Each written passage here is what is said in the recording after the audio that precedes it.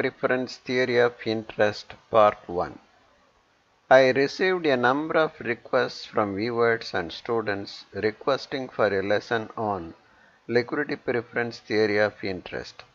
They raised a number of doubts also.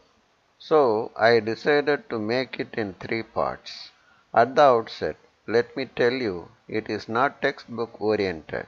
It is done mainly to better your understanding of the theory. It is an unconventional approach. Please view all the three parts and comment. Your comment is very valuable for me. If you like this video, subscribe and share it. And now the lesson. A basic understanding about bond price and interest rate is very much essential before we start a discussion on liquidity preference theory of interest. A bond is a credit instrument. Corporates and government use this to raise funds. In other words, borrow money in the money market. The issuer of the bond is the borrower and the purchaser of the bond is the creditor.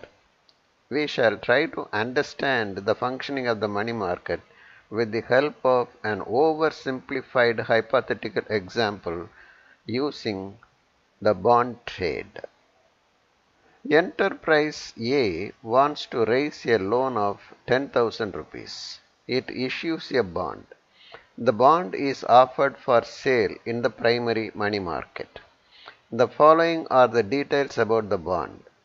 The face value of the bond is 10,000 rupees.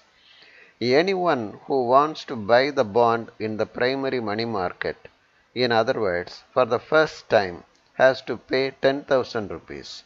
Hence, its price is also 10,000 rupees. It carries an interest rate of 10% per annum on it. Let us call it as coupon rate.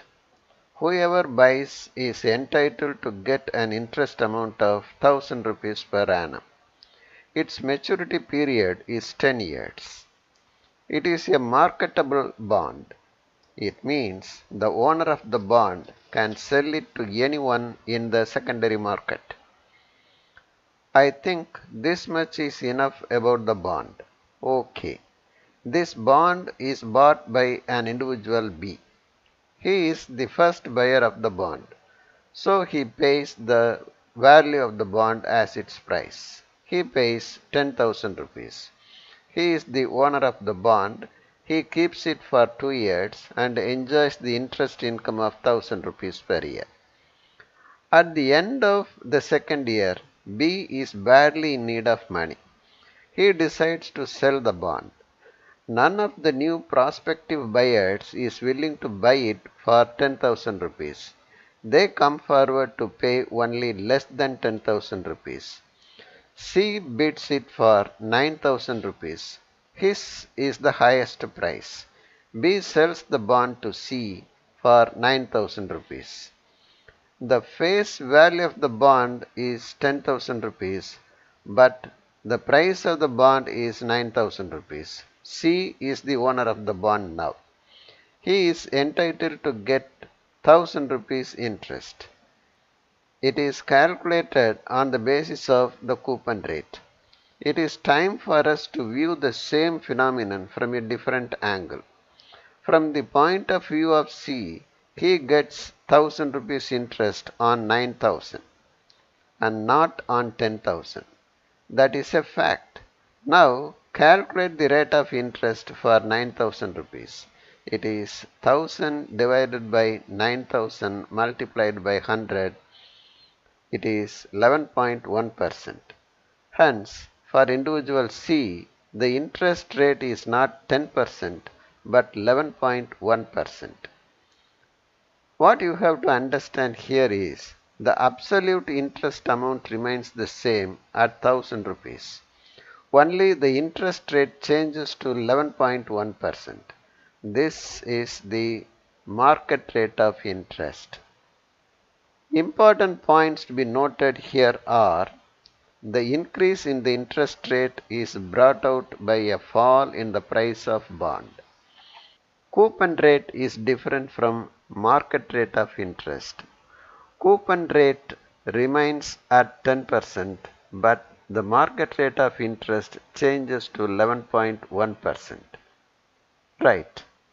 After three years, some people with surplus cash want to buy bonds.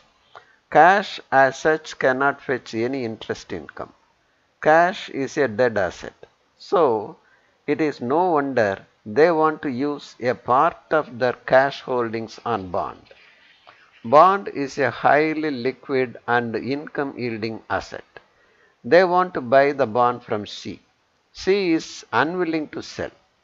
So the buyers come forward to offer a higher price. D is willing to offer 11,000 rupees for the bond. Since the price quoted by D is the highest and attractive, C sells it to D. Let us examine the present scenario. D is the new owner of the bond. D continues to receive 1000 rupees by way of interest. It is calculated on the basis of the coupon rate 10% applied on the face value 10,000 rupees. But from the point of view of D, interest income 1000 rupees accrues from 11,000 rupees. He calculates the rate of interest on the basis of 11,000 rupees. It is 1000 divided by 11,000 multiplied by 100. It is 9.1%. For him, the rate of interest is 9.1%. This is less than the coupon rate. This is the market rate of interest.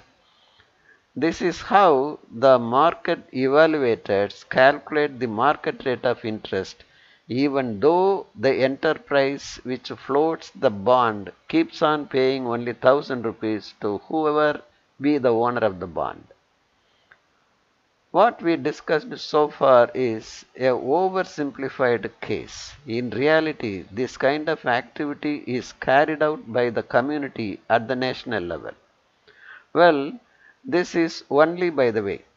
What is important to our discussion is coupon rate of interest is different from market rate of interest. Coupon rate will never change. Depending on the price paid by the individuals for the bond, the market rate of interest changes. Please cognize this is the very foundation to understand the liquidity preference theory of interest. The rest in the next lesson. Now it's time to test our understanding. Say true or false. Coupon rate of interest is what is specified in the bond. True. Market rate of interest is calculated on the basis of the face value of the bond. False. The price of bond is always equal to the face value of the bond. False. There is inverse relation between price of bond and the market rate of interest. True. Though I didn't say anything about the following two questions that is going to appear subsequently, try and answer for them. The bond is said to be sold at a discount when it is sold at a price which is less than the face value of bond. True.